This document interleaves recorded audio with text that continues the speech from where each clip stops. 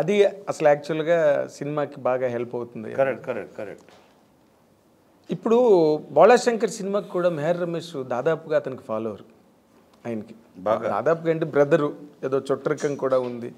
ఆయనకి దేవుడు ఇవన్నీ బట్ అది ఆ సినిమాకి అది వర్కౌట్ అవ్వలేదు ఏంటి సార్? అంతే కొనుక్కో అంటే నేను అనుకోవడం యాజ్ అన్ అవుట్ సైడర్గా ఒక ప్రేక్షకుడు ఒక ఎనలిస్ట్గా చెప్పాలి అంటే నా ఉద్దేశం ఏంటంటే అది బేసిక్గా అదొక రీమేక్ దీంట్లో అప్పుడే నాకు గుర్తుండి ఇది ఇది వచ్చిందే నాకు తెలిసి టూ థౌజండ్ థర్టీన్ ఇప్పుడు వచ్చింది. Ten years back. వేదాళం వేదాలు. అప్పుడే వచ్చింది. అవునండి. అప్పుడే ఏంట్రా ఇది? వేదాలు వచ్చినప్పుడు ఇదేంటి కొంచెం ఓల్డ్ స్కూల్లో ఉంది సినిమా అన్నారు. అప్పుడే. అప్పటికే. ఒక పది సంవత్సరాల క్రితం వచ్చుంటే ఈ సినిమా బాగుండేది అన్నారు. అంటే మీరు ఆలోచించండి. అంటే ఒక అప్పటికే చాలా బా మీరు కావాలంటే ఇప్పటికీ వేదాలు మీరు రివ్యూస్ తీసి చదవండి.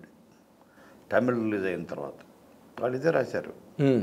It has a very old school approach అని కొన్ని కొన్ని ఇవి యునానిమస్గా రాశారు అప్పుడే. ఓల్డ్ స్కూల్ ఆఫ్ థాట్ అని. బట్ సినిమా దాన్ని మళ్ళీ పది సంవత్సరాల తర్వాత మనం తీస్తూ అప్పటికే అది పది సంవత్సరాలు ముందంటే రెండు వేల మూడులో తీయాల్సింది అన్నది సినిమా. అలాగే ఎక్కడో క్యాలిక్యులేషన్ అప్పుడప్పుడు క్యాలిక్యులేషన్స్లో ఇప్పుడు ఏంటంటే ఇప్పుడు ట్రైలర్ మేడ్ అంటాం. అంటే ఏంటి ఇప్పుడు చిరంజీవి గారికి ఉన్న ఫ్యాన్ బేస్ ఏంటి? ఆడియన్స్ ఆయన్ని ఆయన ఏం చూస్తూ ఆయన ఇష్టపడ్డారు? దేనివల్ల ఆయన మెగాస్టార్ అయ్యాడు. ఏ కథలు ఏ క్యారెక్టర్లు ఆయన స్ట్రెంగ్త్ ఏంటి ఆయన వీక్నెస్ ఏంటి ఇవన్నీ మనం తెలుసుకొని ఆయనకు ఆయన ఆయనకు ఒక డ్రెస్ కొడతాం. దాన్ని టైలర్ బేడ్ అంటాం. అదంటే ఆ, అవన్నీ బేరీ చేసుకొని హాస్యం ఇంత పాళ్ళు ఆయన సెంటిమెంట్ భయంకరంగా పండించగలడు.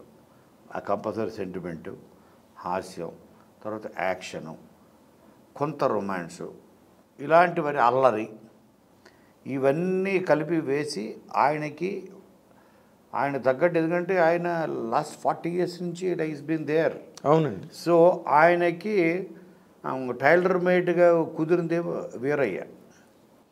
రెడీమేడ్ తీసుకొచ్చి ఆయనకి తొడిగేస్తే ఎలాగా? టైలర్ మేడ్ కాదు అది రెడీమేడ్ ఆయనకి కుట్టాలి. ఆయన ప్రేక్షకులు వేరు ఆయన అభిమానించే ఇది వేరు ఆయన కుట్టాలి. చాలా బాగుంది. ఆయన ఆయన ఆ కొలతలు తీసుకోవాలి. అంతేగాని చాలా అసలు ఎంత బాగుందంటే దొరికింది మనకు మార్కెట్లో ఇంతమంది మాట్లాడారు బాలశంకర్ గురించి కానీ ఇంత మంచి అనాలిసిస్ సింపుల్ మళ్ళీ. అంతే. టైలర్ మేడ్ అవ్వాలి తప్పితే రెడీమేడ్ కాకూడదని. రెడీమేడ్ అవ్వకూడదు ఆయనకి.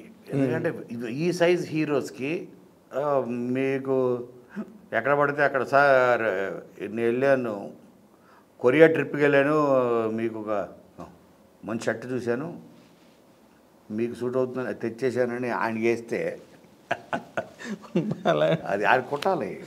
ఆయన షోల్డర్స్ వేరు. ఆయన ఇది వేరు ఆయన పట్టుకుని కొలిచి- కొలిచి కుట్టాలి. కొలతల ప్రకారం ఆయన కుట్టాలి. కుడితేనే ఆయన సూట్ అవుతుంది పర్సనాలిటీ. మరి పాయింట్ మన మెహర్ రమేష్ ఎలా మిస్ అయిపోయాడు సార్?